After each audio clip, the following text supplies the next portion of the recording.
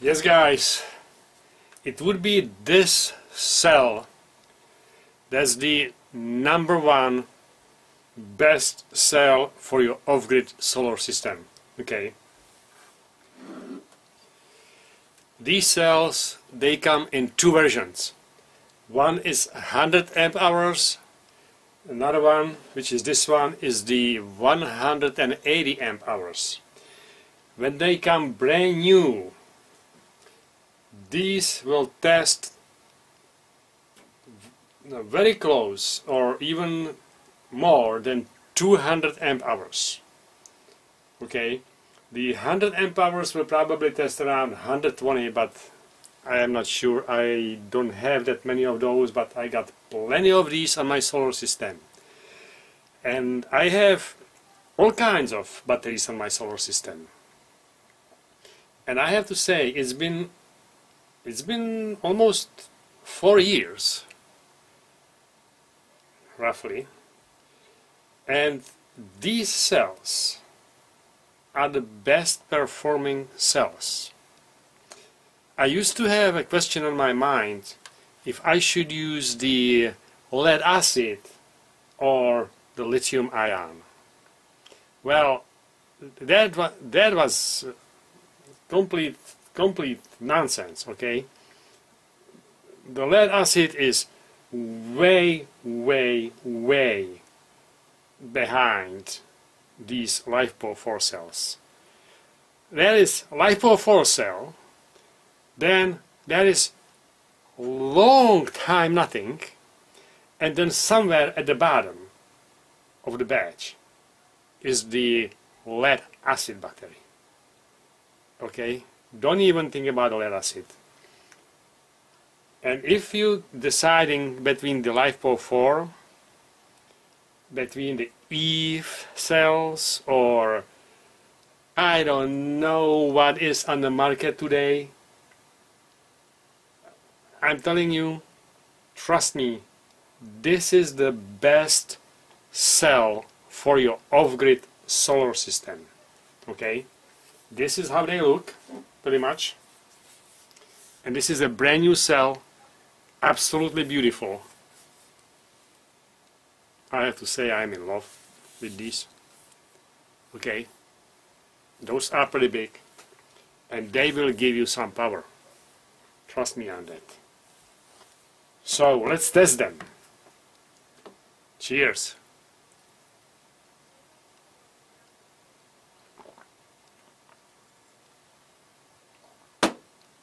Yeah, fantastic.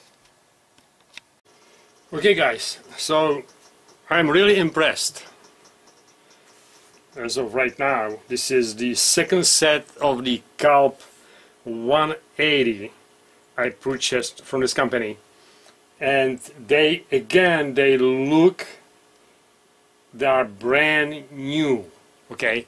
And I just want to start here from beginning um, because uh, from the previous video you can see that I tested them and everything, but not all the way from the beginning, not completely. So here we go, okay, from the beginning. This is how they arrived. Well, let me just show you one of them. Like, really, how they look. They, they look just brand new, okay. They have the uh, serial number here. They got the sequence numbers on top okay? They don't have any residue inside the terminals. Completely clean okay?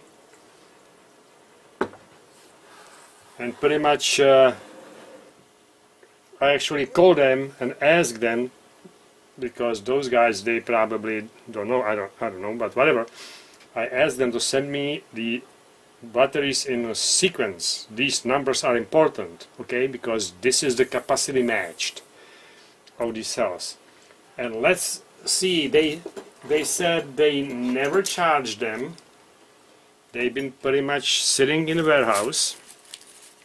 And as we know that these cells are not made anymore so these are really hard to find brand new okay that's why I'm so excited actually. So let's check check the voltage on them. Actually let me zoom here. On the mirror a little bit. Okay I hope you can see that. And let's see the first one. 3274 second one. 3276 another one 3275 3276 and this is just fantastic. That's how they're supposed to be when when they are brand new okay? Or or if you take care of them very well but these are brand new. So I'm gonna put them to test again and I'm gonna just go through the test really briefly because the video before was pretty detailed. And we'll see if these cells are, are again brand new. They honestly they do look like they've been never used but I never take anybody's word for it. I test it for myself. So there we go. You're gonna connect them discharge them to 10% and charge them back to 100% and let's see what we get out okay? Yeah and before I forget the hardware it came with okay this is my hardware which is beat up but the hardware it's these uh, uh, these bridges or whatever you want to call these things okay. Between the cells. They they look exactly brand new. And also what is very important is this M8 bolts. Okay. You see the tread lock on it? The blue tread lock on each of the bolts here? Okay. When people buy these cells they're gonna screw that bolt in the terminal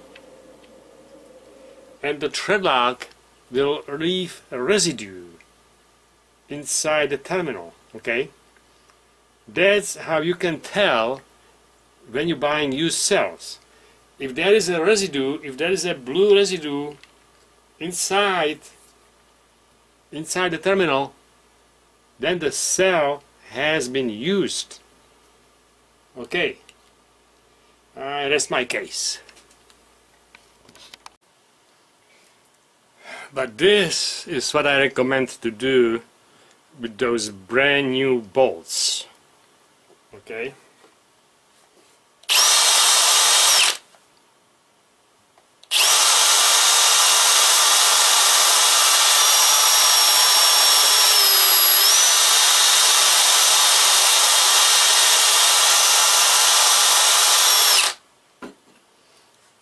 completely strip the blue residue from them. And it's for two reasons. One is when you screw it in you have to kind of force it into the terminal and I don't like that. And number two when you screw it in you have the blue thread lock on it. It does not create good connection okay? That's two reasons. Also what I would do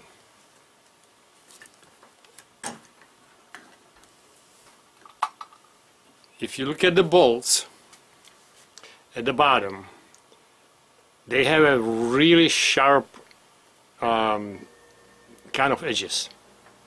And the bolts when you screw them in when you screw them into the terminal if you don't use one of these washers okay you got one regular washer and one spring washer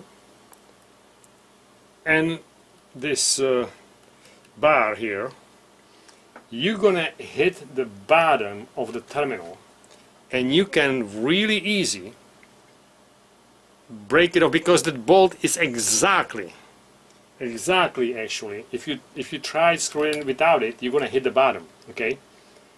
So I really don't like this sharp edges here and what I do I just take my sander here.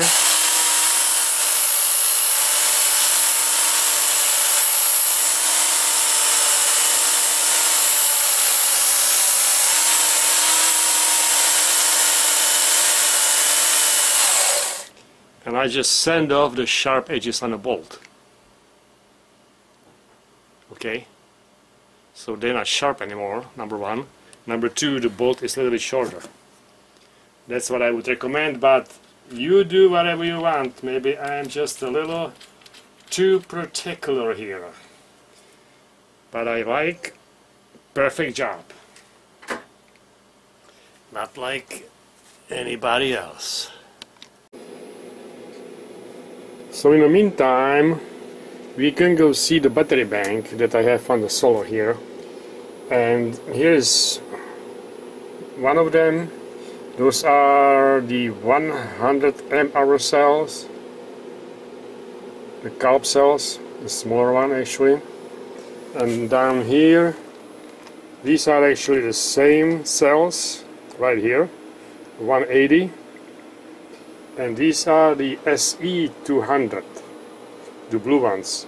And those are actually really good cells too for solar. Okay and if we go on the other side into the other system which is uh, the 12 volt system. Okay so on this side we have one set of the 180 amp hour cells the CALB cells right here about three years old. They performing really nice.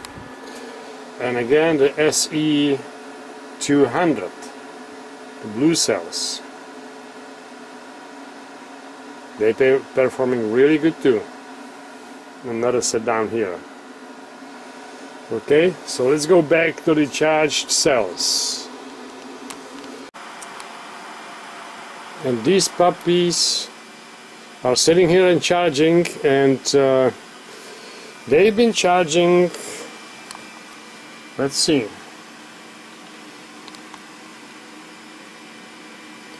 okay uh, screwdriver here let's get out of okay so right here is the time eight and a half eight hours and 34 minutes they charge 177 amp hours with 20.8 amps. Okay.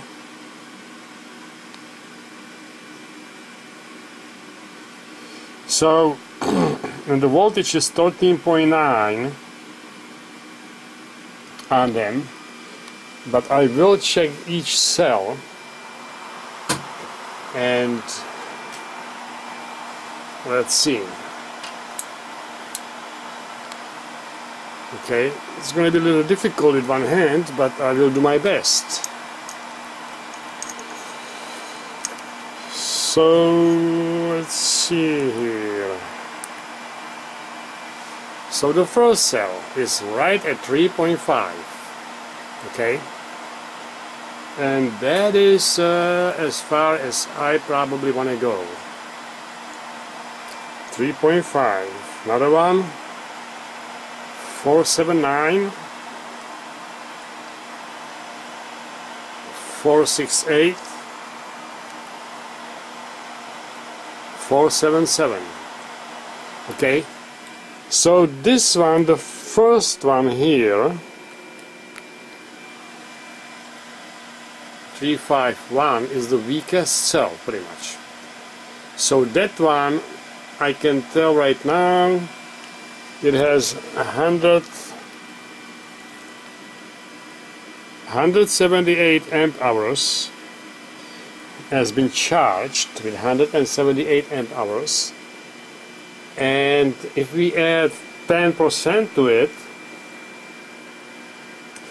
that will be that will be roughly 17 18 amp hours. So that's uh, 180 96 or so something like that. Yeah 196 amp hours uh, 196 amp hours for the weakest cell. And the other ones are not far behind actually but uh, this is uh, this is pretty much uh, good enough. And again as you can see these are brand new cells and they are in sequence okay? 19 20 21 and 18 okay? So 18 19 20 and 21 so they've been matched from the factory but still they are not exactly the same capacity okay? So all I want to say is uh, let me just shut this down right now. I'm done with charging. Don't want to go any farther than that. Um, so these are new cells okay? They never been used and they charged about 296 amp hours and that's how it's supposed to be and that's good. Uh, but but what I want to say is that these cells even though they are matched from factory and that's the best match you can you can ever get they still not going to be the exactly same capacity.